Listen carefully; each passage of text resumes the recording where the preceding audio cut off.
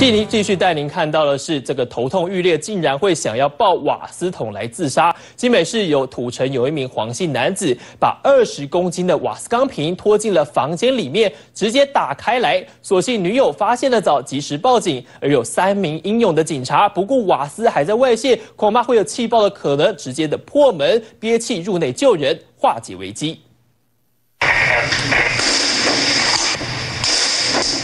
远警直接破门，小心翼翼观察房间里头的状况。因为一名黄姓男子竟然把重达二十公斤的瓦斯桶抱进房间里头，上锁后开瓦斯，意图轻生。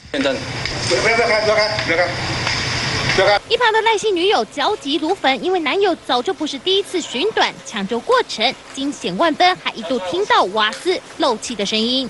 啊，味道很浓哎。